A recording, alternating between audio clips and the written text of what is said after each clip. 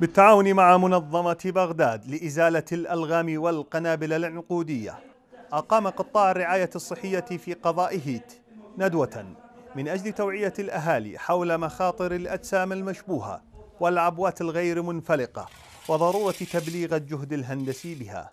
قيام بإلقاء محاضرة إلى الكوادر في قطاعنا آه، حول مخاطر المخلفات الحربية والأجسام المشبوهة والغير منفلقة.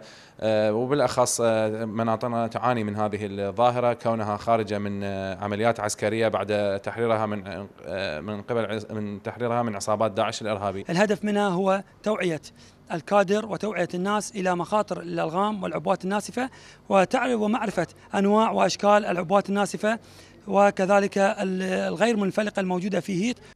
ومن أجل الحفاظ على أرواح المواطنين من المخلفات العسكرية تقوم منظمة بغداد وبدعم مباشر من اليونيسيف وبتمويل من الحكومة النرويجية بحملات توعية في أغلب مدن محافظة الأنبار في كيفية التعاطي لإزالتها.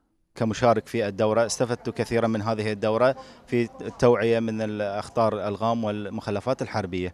نظرا لوجود عمليات عسكرية في مناطقنا آه، كون مناطقنا شهدت معارك عسكرية وعمليات تحرير من العصابات الإرهابية. قامت ورشة عمل في آه، قطاع صحة آه، قضاء هيت وكانت جيدة جدا لتوعيتهم من المخاطر والألغام والقنابل الغير منفلقة في المناطق المشبوهة.